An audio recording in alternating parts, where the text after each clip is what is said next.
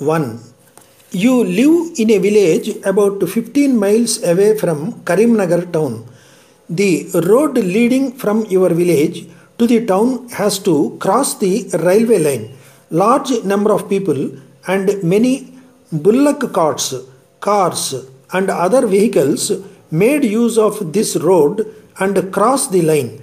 This level crossing is not protected and trains pass through this spot now and then.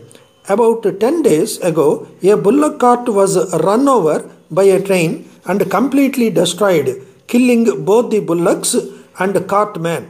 Draft a suitable application to the General Manager, the South Central Railway Secunderabad, informing him of these facts and requesting him to establish a railway gate at this place and maintain it properly.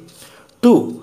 Recently, you have passed a diploma in commercial and computer practice course from a government college. After completion of diploma, you are eligible for lateral entry into BCom second year. You have approached a degree college and submitted your application enclosing the proof of passing which is downloaded from internet. The principal has not accepted the same and insisted to submit originals. Write a representation to the principal requesting him that original certificates are not received by the college where you have studied and soon after receipt of the same original certificates will be submitted. Also ask him to take an undertaking that if the original certificates are not produced within 15 days, your admission may be cancelled. 3. Draft a tender notice inviting tenders for constructing a college building at Jagityal, Karimnagar district. The approximate cost of work is 2 crores. The tender forms will be available from 10th July 2016 in the office of Executive Engineer, Roads and Buildings, Karimnagar. The cost of the tender form is rupees 2000. The last date for receipt of tenders is 25th July up to 3:30 pm. Earnest money deposit is 1% of the total value. The period for completion of work is 1 year. The tenders will be opened at 4:30 pm on the same day in the presence of tenderers. Successful bidder has to enter into an agreement with the concerned department. 4. Draft an advertisement for the post of data entry operator. The minimum academic qualification is first class degree or its equivalent from any recognized university, preferably a commerce graduate.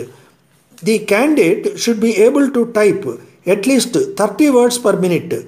The candidates, those who have the English typewriting lower grade certificate issued by the State Board of Technical Education and Training, Telangana State, Hyderabad, will be given preference.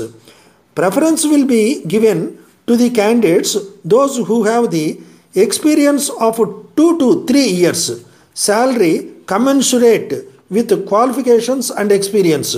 Proficiency in English is an added advantage. The applicants should be addressed to the personal manager Rachana Enterprises Hyderabad on or before 25th July 2016. 5. Recently, the milk supply rates have been increased abnormally by the Telangana State Dairy Development Corporation. Milk is one of the important components of the food.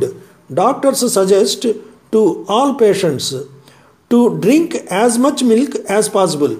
If the milk rates are increased, economically backward people are deprived of drinking milk.